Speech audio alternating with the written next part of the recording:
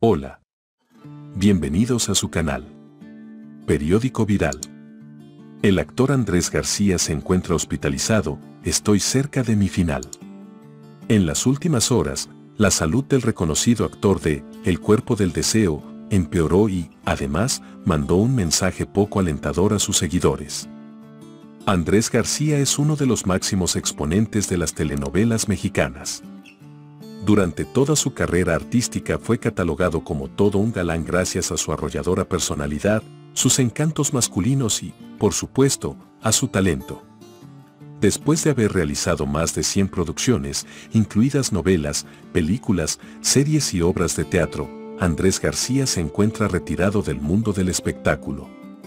Su ausencia, desde hace un tiempo ha sido ocasionada por sus quebrantos de salud. Su última aparición artística fue en la serie Hay alguien ahí, en el 2009. Ahora se encuentra en su casa en Acapulco, México. De acuerdo con unas declaraciones que brindó hace un tiempo a una revista mexicana, el actor afirmó estar en sus últimos años de vida, declaración motivada por varios problemas de salud que lo han aquejado. Estoy en la recta final de mi vida, considerando los años y achaques que tengo. Trato de sobrevivirlos. Tengo fibromialgia y osteoartritis que me provocan dolores terribles, pero no me quiero quejar, lo sobrellevo como puedo y mejor disfruto.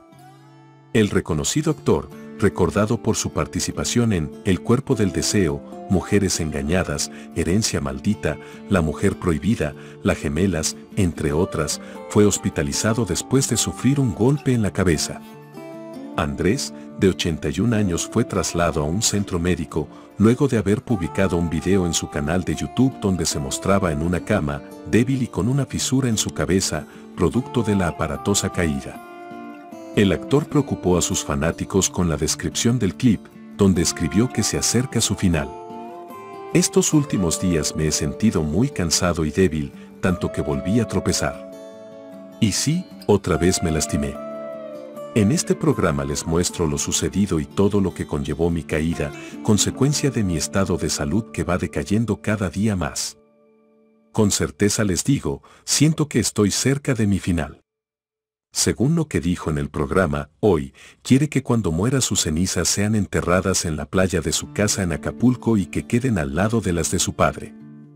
De igual manera, el actor ya realizó su testamento que dice que los herederos de su fortuna son su esposa Margarita Portillo, su hermana Rosa María García, sus dos hijos Leonardo y Andrés, la madre de ellos, Sara Vale, y su amigo, el actor Roberto Palazuelos. No olvides suscribirte a este canal y activar la campanita y compartir con tus amigos para que estés bien informado de las noticias.